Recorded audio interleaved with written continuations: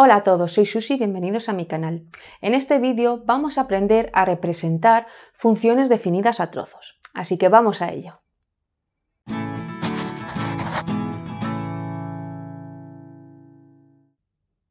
Las funciones a trozos, funciones definidas a trozos, son funciones de este estilo, que tienen una función en un tramo de la x y otra función en otro tramo de la x. En este caso, tenemos la función x más 3 cuando x es menor o igual que 2. Pero cuando x es mayor que 2, la función va a tomar esta forma, x menos 1. Por eso se les llama funciones definidas a trozos, porque tienen trozos diferentes dependiendo del valor de la x, ¿vale? Vamos a ver cómo se representan. Muy sencillo. Cogemos cada función y hacemos una tabla de valores para representarla. Esta va a ser mi función 1 esta va a ser mi función 2. Voy a representar la función 1. La función 1 es x más 3. Ponemos y igual a x más 3 porque así definimos que es una función. Podéis poner en lugar de y f de x, ¿vale? Es lo mismo. Como es una eh, función lineal, con hacer una tabla de valores es suficiente y así ya sabré cómo va mi función. Entonces voy a hacer una tabla de valores. Y aquí en la tabla de valores tenemos que atender a la condición que nos pone aquí. Nos dice que es esta función si x es menor o igual que 2. Pues vamos a coger valores menores o iguales que 2 y cogiendo el 2 también, ¿vale? Entonces voy a coger, por ejemplo, el 0, el 1 y el 2 también. Sustituimos en nuestra función y vemos el valor de y. 0 más 3, 3. Si la sustituyo por 1, 1 más 3, 4. Por, si sustituyo la x por 2, 2 más 3, 5. Y aquí viene un punto clave.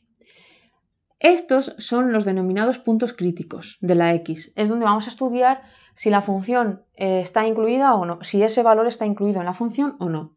Así que en este punto, en el 2 de la x y 5, tengo que ver si el 2 está incluido. Como el 2 está incluido porque pone que también puede ser igual que 2, voy a, a la hora de dibujar, dibujar un circulito relleno, ¿vale? Al incluirlo es circulito relleno. Si no se incluyera, es circulito sin rellenar. Ya tengo mi primera función, voy a hacer la segunda y ya represento. Podéis hacerlo, representarlo y luego como que queráis, pero voy a hacer las dos tablas de valores y ahora represento, ¿vale? Mi segunda función es x menos 1. Hago mi tabla de valores atendiendo a la condición. Voy a elegir tres valores. ¿Y qué tres valores? Aquí es la función si x es mayor que 2. Pues voy a coger el 2 y números mayores que 2. 2, 3 y 5, por ejemplo. Si sustituyo la x por 2, 2 menos 1, 1.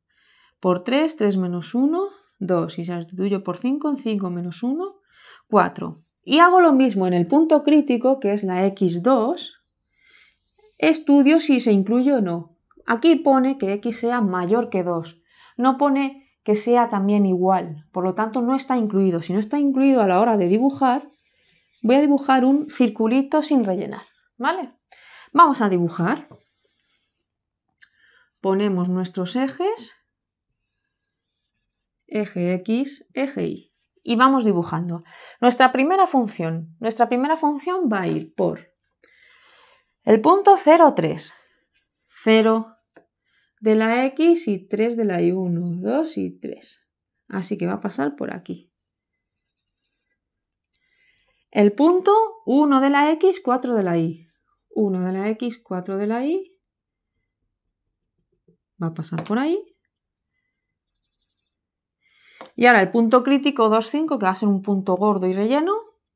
2 de la X, 5 de la Y. Ese punto va a estar aquí. Por lo tanto, mi función es esta recta, que vendría desde aquí, toda esta recta hasta llegar al 2, y en el 2 termina con ese punto relleno, porque el 2 está incluido, ¿vale? Vamos a ver cómo sería el trocito de la función 2. Empezamos en el punto 2 de la x, 1 de la y. 2 de la x, 1 de la y es este. Y además ese es punto crítico, entonces vamos a dibujarlo en rojo, claro. Nos toca hacer un circulito sin rellenar. Circulito sin rellenar y vamos a continuar dibujándola. El siguiente punto es 3 de la X, 2 de la Y. 3 de la X, 2 de la Y. Vamos por aquí. Y el siguiente punto es 5 de la X, 4 de la Y. 5 de la X, 4 de la Y. Va por aquí. Muy bien. 1 los puntos y veo que efectivamente es una función lineal. Y ya tengo mi función a trozos. Como veis, este trozo hasta el punto 2 y este trozo de 2 en adelante. Además, vemos que esta no es continua. No es continua si, si yo dibujo mi función y en algún momento tengo que levantar el lápiz para volver a para seguir dibujándola no es continua, no es una línea continua, hay un punto en el que salta, ¿no? Entonces, además es discontinua. Y como veis, tiene dos trozos, tiene este trozo hasta aquí y luego este trozo hasta aquí. Así es como se representan las funciones definidas a trozos. Cada función con los valores concretos de la tabla atendiendo a nuestra condición y lo dibujamos.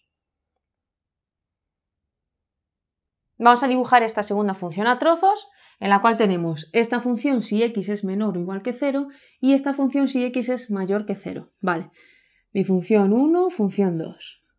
Vamos con la 1. y es igual a 1. Veo que es una función constante. Cuando y es un número es constante. Va a ser una eh, función que no tiene pendiente, va paralela al eje x. Vamos a dar tres valores mínimo que cumplan esta función sean menores o iguales que 0. Así que voy a coger 2 menores o iguales que 0 y el 0. Así que voy a coger el 0, el menos 1 y el menos 2. Sustituyo. ¿Cómo sustituyo si no hay x? Pues no se sustituye y la y siempre vale 1. Así de fácil. Estudio el punto crítico. Este punto crítico, ¿el 0 está incluido? Sí, por lo tanto, circulito rellenito. Función 2 es una función de segundo grado. ¿vale? Aquí, para eh, dibujar las funciones a trozos, tenéis que también conocer muy bien cada función y cómo se representa cada función. A ver, las funciones de segundo grado se suele hallar el vértice, los puntos de corte. Eh, eso, se, se suele hacer eso, pero en este caso no nos vamos a complicar y nos vale con hacer una tabla de valores, ¿vale? Pero yo ya sé que es de segundo grado, por lo tanto, sé dos cosas sé que va a ser una curva y además, al ser el término que acompaña al x cuadrado positivo, sé que va a ser en forma de u, las ramas hacia arriba, ¿vale? O sea, ya tengo datos que me van a ayudar junto con la tabla de valores, ¿vale? Entonces, en mi tabla de valores voy a añadir tres valores mínimo, luego ya veo si tengo que añadir más, empezando por el 0, porque es x mayor que 0, ¿vale? Empiezo con el 0, el 1 y el 2, ¿vale? Atiendo a esta condición. Pues bien, si sustituyo por 0, el valor es 1. Si sustituyo por 1, 1 al cuadrado más 1, 1 más 1, 2. Y 2 al cuadrado es 4 más 1, 5. Estudio el punto crítico. 0 está incluido, no, porque no pone un igual. Por lo tanto, circulito sin rellenar. Vamos a dibujar. Eje X, eje Y.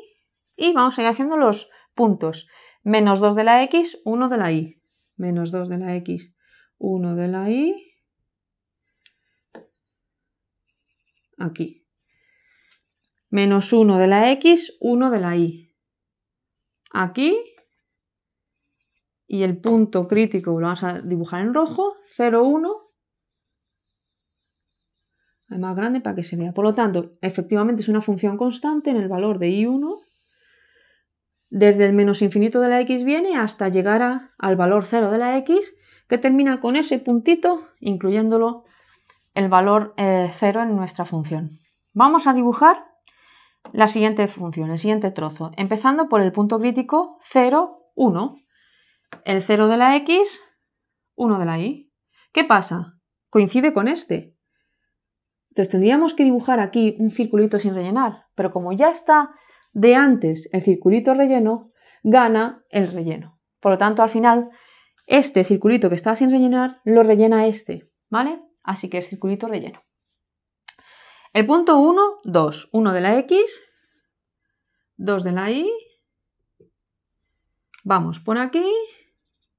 Y el siguiente punto es el 2 de la X, 2 de la X, 5 de la Y por aquí. Vale, cuidado con este punto. Podemos tener la, la, la, idea de dibujarlo como una función lineal, pero no, acordad que estamos en una curva porque es una ecuación de segundo, una función de segundo grado, ¿vale? Pues tenéis que dibujarlo en modo curva. Pues bien, y este es nuestro dibujo. Tenemos hasta x0 esta función constante en y1 y a partir de x0 en adelante toma la forma de una función de segundo grado, de una curva. En el punto crítico al final había una discontinuidad, había un circulito sin rellenar, pero ha quedado relleno por la otra función. Por lo tanto, esta función, aunque tiene este trozo aquí y luego este trozo aquí, es continua porque podemos dibujarla completa sin levantar el boli, porque por aquí pasa y no ha habido ningún corte en esa función, es continua, ¿vale? Eh, puede pasar por aquí, porque, aunque lo dibujo de otro color, es continua, ¿vale? Porque sigue la función en, todo, en todos esos valores existe función, ¿vale? Y hasta aquí el vídeo de hoy. Si te ha gustado el vídeo, dale a me gusta y compártelo. Suscríbete a este canal y sígueme en Instagram si quieres estar al tanto de nuevos vídeos y ejercicios. Que tengas un buen día y nos vemos en el próximo vídeo.